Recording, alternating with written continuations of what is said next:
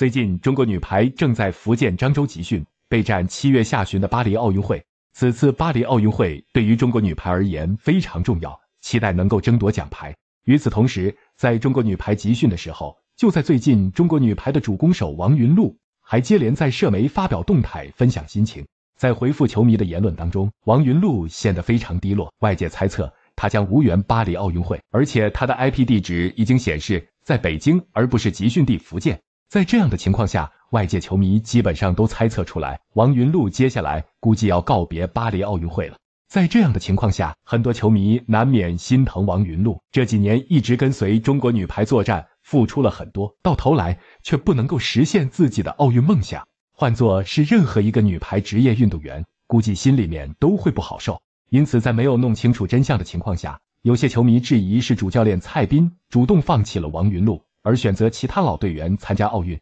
在这样的情况下，蔡斌在最近这一段时间面临着很多的质疑和各种攻击。看到自己的恩师受到外界的批评，王云璐打破沉默，在球迷群发声力挺蔡斌。从中可以知道，这一次中国女排奥运名单的定夺，并不是球迷想象的那么简单。从网上截图可以看到，随着王云璐无缘巴黎奥运会的传言闹大后，王云璐在粉丝群和真爱粉交流。首先，他希望大家不要攻击主教练蔡斌，因为蔡斌是自己的伯乐和恩师，是蔡斌主动招纳，才让王云璐有机会再度进入女排国家队。另外一方面，关于这一次名单的定夺问题，王云璐用了十一个字揭露实情，大概的意思是很多事情是蔡斌左右不了的。按照王云璐的意思。中国女排这一次征战巴黎奥运会的名单，并不是主教练蔡斌一人能够定下来的，所以他希望其他球迷不要为难蔡斌。蔡斌也非常的不容易，他面临着很多艰难的抉择。王云璐这一番话，显然说出了中国女排奥运会名单选拔的内情。